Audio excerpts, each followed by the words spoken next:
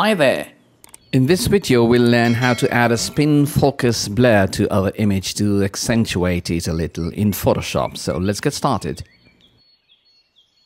As you can see, we already have a nice image opened in Photoshop. So the first thing we're going to do is to make a duplicate. And for that, right click the background layer and select duplicate layer. Rename the new layer should you want. I'm going to let it stay as it is and hit OK. With the new layer selected, let's pick the brush tool from the toolbar and ensure that it's a soft round brush and not hard round. Selecting hard round will not produce a nice transition from the blurred area to the protected area of the image.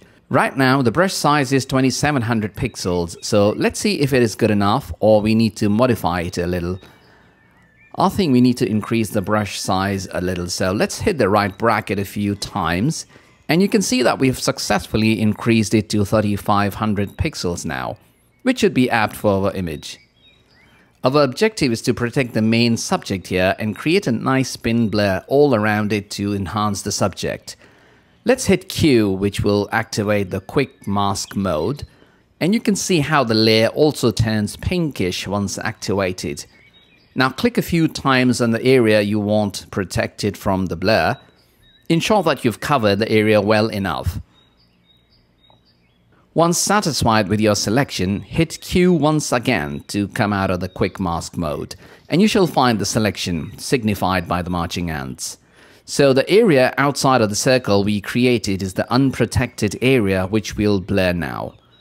Let's go to Filter and then Blur and select Radial Blur. Unfortunately, there's no preview mode here, let the blur method be spin and quality be good or you can even try best if it suits your image. You can also update the blur radius to your liking. I'd keep it to 3 and hit OK. Now, for the next step, if you still want to protect the main subject, you can always do that without deselecting it. Or you can hit Command D on a Mac or Control D on a PC to deselect the main subject. And that is what I'm going to do. So let's hit Command D on a Mac or Control D on a PC, and you'll find the selection gone. By the way, our next step is to add a gradient map to add an effect to our image. So with the same layer still selected, let's go to the adjustment option at the bottom of the layers panel and select gradient map and a gradient map layer will be added to our image. Let's check the reverse box as the image looks much like a negative at this point.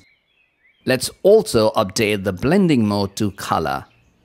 Now click the gradient bar and pick one of the gradients of your choice. I'm going to select reds and pick an option from here and hit OK. Lastly, let's reduce the opacity to about 15 to 20%.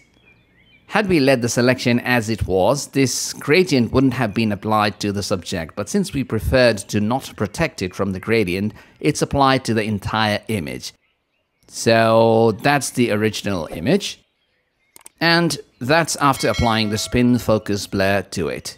Do let me know what you think about it in the comment section.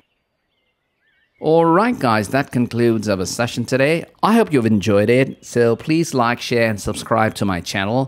Until we meet again, goodbye and thanks for watching.